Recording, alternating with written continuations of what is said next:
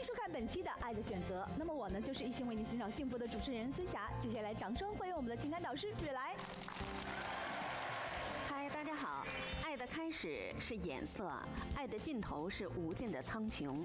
爱的选择，选择爱。我是您的朋友瑞来。掌声欢迎小红娘文文。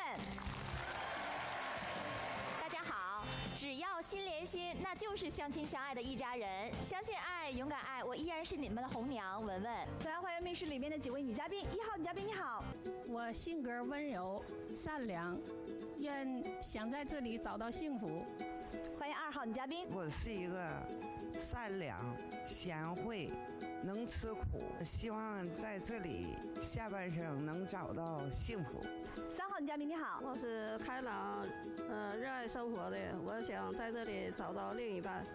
欢迎四号，我是来自鞍山的水雅珠，今天我就为你而来。好，今天来到我们节目当中的这位男嘉宾呢，可以说是高大伟岸，而且是双眼包皮，特别的招人稀罕。没有夸张啊，咱先来看看他的照片。呀，哦，是咱老家大眼睛。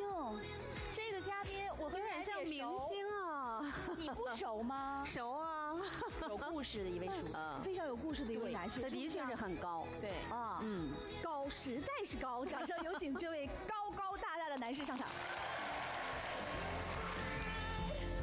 主持人好，工作人员好，律师里边的女士，你们好。我是来自沈阳的张凤林。那个今天上《爱的选择》，主要找一个俩人互敬互爱的女士。欢迎您，您好。来报身高。呃，身高一米八二。一米八二。哎呦我的天！你再挺一下，是不是能一米八五？那个达不到，得穿个高跟鞋。好像说这么大的年龄年纪哈，就是一米八几的身高，特别的打人啊。张叔叔四年前来过我们《爱的选择》啊，按照那个时候的年龄，应该是五十七岁来我们《爱的选择》啊。那个时候我们的叔叔收入还不是很多，嗯，但是如今来《爱的选择》，变化了，翻天覆地了吧？收入得有六七千了吧？男嘉宾五年四年前哈，对，四年前你每月收入是？那时候打工，打工只有两千元是吧？对呀。现在退休了，对。平地一声雷，你翻身了，对。那个退休多了四千块钱，那加一块六千多。呃，差不多吧。那之前的择偶标准是按两千元去择偶的哈，现在水涨船高没啊？择偶的标准几乎差不多。啊，哪儿变了？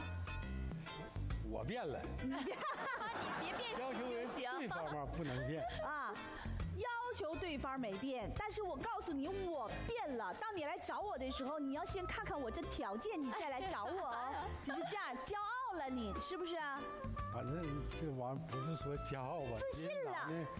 找一个真正过日子的吧，咱说实在的，兜里边有票子了，一般的他也不没有那些想法。听您说您自己是溢价老头啊，现如今怎么个溢价呢？溢价不溢价的？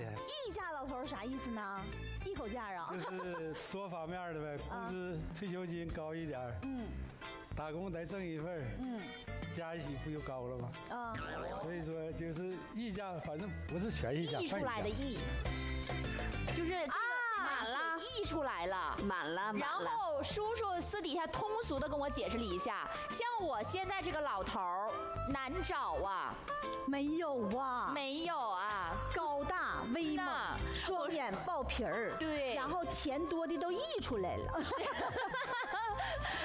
我说怎么这回感觉咱们男嘉宾往那一站，怎么跟原来不太一样呢？原来是自信了。平常的日常生活比较低调，我也是个普通的工。嗯。